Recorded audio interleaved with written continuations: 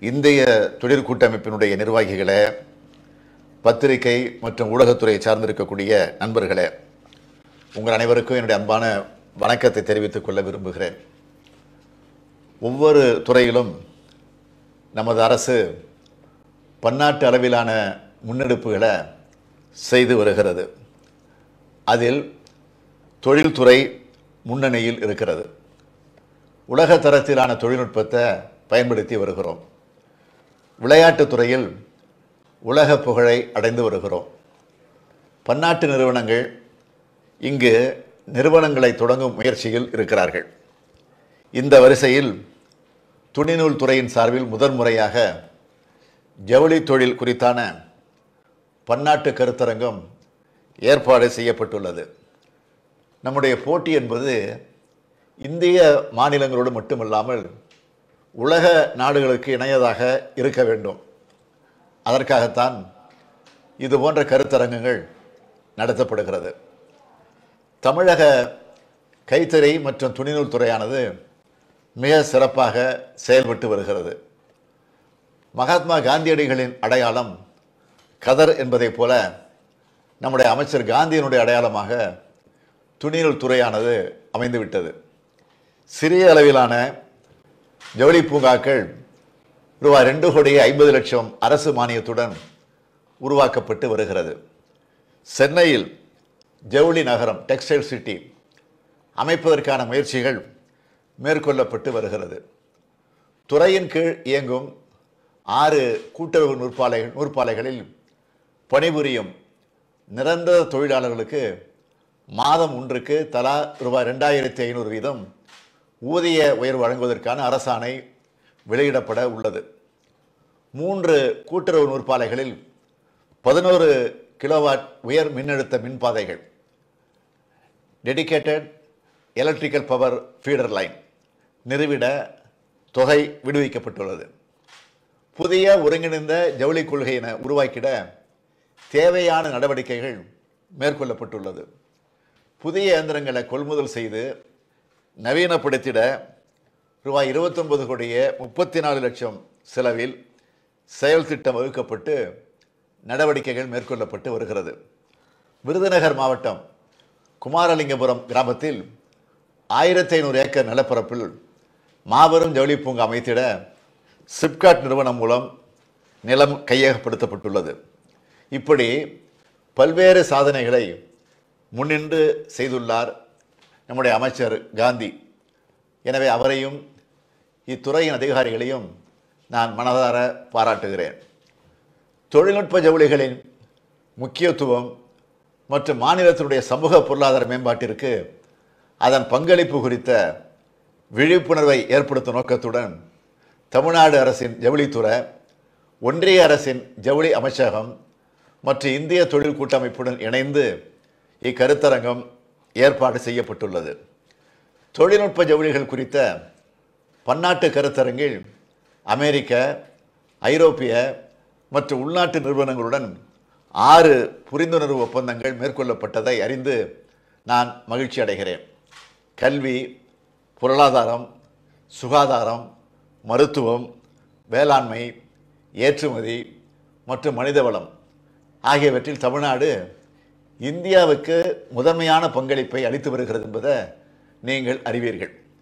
தொழில் வளம் அமைதியான சூழல் தொழில் தொடங்குவதற்கான எளிய நடைமுறைகள் முன்னேறி வரும் பொருளாதார சூழ்நிலை திறன்மிகு மனித வளம் ஆகியவற்றின் காரணமாக அனைவரையும் ஈர்க்கும் மாநிலமாக நமது தமிழ்நாடு இருக்கிறது. நமது அரசின் முனைப்பான நடவடிக்கைகளால் தமிழ்நாட்டில் முதலீடு செய்வதற்கு பன்னாட்டு தொழில் முனைவோர்களும் ஆர்வம் காட்டி வருகிறார்கள். இந்தியாவின் மொத்த உள்நாட்டு உற்பத்தி ஜிடிபி அளவில் தமிழ்நாடு இரண்டாவது பெரிய மாநிலமாக திகழ்கிறது. நான்கு பெரிய பன்னாட்டு விமான நிலையங்கள் ரெண்டு உள்நாட்டு விமான நிலையங்கள் மூன்று பெரிய துறைமுகங்கள் பத்தொன்பது சிறிய து துறைமுகங்களை தமிழ்நாடு கொண்டிருக்கிறது. ரெண்டு லட்சத்தி ஐம்பத்தி மூவாயிரத்தி ஐநூற்றி பத்து கிலோமீட்டர் நீளமுள்ள சாலை வழி வசதியை கொண்டு முதலீட்டாளர்களும் ஏற்றுமதியாளர்களும் மிகவும் விரும்பும் மாநிலமாக விளங்குகிறது. தமிழ்நாடு எண்பது விழுக்காடு கல்வி அறிவு பெற்ற மாநிலமாக திகழ்கிறது. திறமை வாய்ந்த சிறந்த தொழில்நுட்ப பணியாளர்களையும் கொண்டுள்ளது. இத்தகைய தனித்தன்மையின் காரணமாக அனைத்து துறைகளிலும் நாம் பெரும் முன்னேற்றம் கண்டு வருகிறோம். இதில் ஜவுளித்துறையும் ஒன்றாக இருக்கிறது. ஜவுளித்துறையை பொறுத்த வரைக்கும் நமது மாநிலம் அந்நிய முதலீட்டினை ஈர்ப்பதிலும் ஏற்றுமதியில் மூன்றாவது பெரிய இடத்தினை வகிக்கிறது. வேளாண்மைக்கு அடுத்தபடியாக அதிகம் பேருக்கு வேலைவாய்ப்பை வழங்குவதாக ஜவுளி தொழில் உள்ளது. அதனால்தான் நமது அரசு பொறுப்பேற்றவுடன் புதியதாக ஜவுளித்துறை என்ற ஒன்றை உருவாக்கியது. இதன் தொடர்ச்சியாக தொழில்நுட்ப ஜவுளி தொழிலின் உலகளாவிய போக்கினை அறிந்து பன்னாட்டு கருத்தரங்கின இந்த அரசு நடத்துகிறது. எல்லா துறைகளும் வளர வேண்டும். அதில் புதுமைகளை புகுத்த வேண்டும். உயர் தொழில்நுட்பம் அனைத்தையும் பயன்படுத்திக் கொள்ள வேண்டும் என்று சொல்லி வருகிறோம். அதற்கேற்ற கொள்கைகளை வகுத்து தந்து வருகிறோம். தமிழ்நாடு அரசின் தொழில்துறை மூலமாக முதலீட்டு மானியம் தொழில்நுட்ப ஜவுளி பிரிவானது சன்ரைஸ் செக்டார் என அடையாளம் காணப்பட்டு சலுகைகள் தொழில் பூங்கா அமைப்பதற்கான உதவிகள் ஆராய்ச்சி மற்றும் மேம்பாட்டிற்கான ஆர்என்டி நிதி உதவி ஒற்றைச்சாளர வசதி சிங்கிள் விண்டோஸ் கிளியரன்ஸ் முத்திரைப்பதிவு கட்டண சலுகைகள் போன்ற பல்வேறு சலுகைகள் வழங்கப்படுகிறது. வளர்ந்து வரும் துறைகள் இனத்தில் ட்ரஸ்ட் செக்டார் தொழில்நுட்ப ஜவுளி சேர்க்கப்பட்டு ஜவுளி தொழில் முனைவோர்களுக்கு சிறப்பு முதலீட்டு மானிய உதவியாக ரூபாய் ஒரு கோடியே ஐம்பது லட்சம் வழங்கப்படுகிறது. ஜவுளி தொழிலில் தமிழ்நாடு எப்போதுமே முன்னணி வகிக்கக்கூடிய மாநிலம். இந்தியாவினுடைய மொத்த ஜவுளி ஏற்றுமதி வருவாயில் தமிழ்நாடு மட்டுமே பனிரெண்டு விழுக்காடு பங்களிப்பை வழங்குகிறது. ஜவுளி தொழிலில் புதிய தொழில்நுட்ப உத்திகளை கடைபிடித்து உலக அளவில் தேவைப்படும் பல்வேறு துணி வகைகளையும் தமிழகம் உற்பத்தி செய்கிறது. தமிழ்நாட்டில் ஆயிரத்தி எண்ணூற்றி அறுபத்தோரு நூற்பாலைகள் உள்ளன. இது இந்திய நாட்டின் பங்கில் ஐம்பத்தைந்து விழுக்காடு. இங்கு இருபத்தி மூணு மில்லியன் நூற்பு கதிர்கள் செயல்பட்டு வருகின்றன. இது நாட்டின் நூற்பு கதிர்களின் எண்ணிக்கையில் நாற்பத்தி மூணு விழுக்காடு. மேலும் இந்தியாவில் உள்ள விசைத்தறிகளில் இருபத்தி மூணு விழுக்காடு விசைத்தறிகள் தமிழ்நாட்டில் உள்ளன. தமிழ்நாட்டில் சுமார் முப்பத்தி ஒரு லட்சம் தொழிலாளர்களுக்கு நேரடியாக வேலைவாய்ப்பினை வழங்கி வருகிறது. எனவேதான் நாம் இந்த துறைக்கு மிகுந்த முக்கியத்துவம் அளித்து வருகிறோம். தொழில்நுட்ப ஜவுளி எனப்படும் டெக்னிக்கல் டெக்ஸ்டைல்ஸ் என்பது வளர்ந்து வரும் மிக முக்கியமான ஒரு பிரிவு. இதற்கு தமிழக அரசு முன்னுரிமை அளித்து ஊக்கப்படுத்தி வருகிறது. ஜவுளித்துறையின் எதிர்காலமே தொழில்நுட்ப ஜவுளிகளின் வளர்ச்சியை சார்ந்தது என்பதை நாங்கள் நன்கு உணர்ந்துள்ளோம்.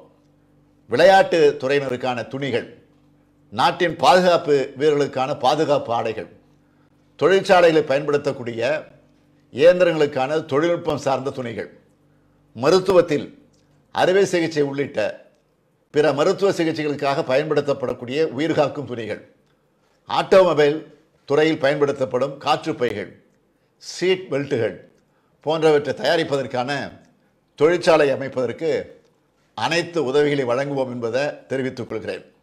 தமிழ்நாட்டில் உலகத்தரத்தின் மெகா ஜவுளி நகரம் டெக்ஸ்டைல் சிட்டி உருவாக்கிட முயற்சிகள் எடுத்து வருகிறோம். மாமல்லபுரத்தில் ரூபாய் முப்பது கோடி செலவில் கைத்தறி அருங்காட்சியகம் ஆண்ட்லூம் மியூசியம் அமைத்திடவும் திட்டமிட்டுள்ளோம்.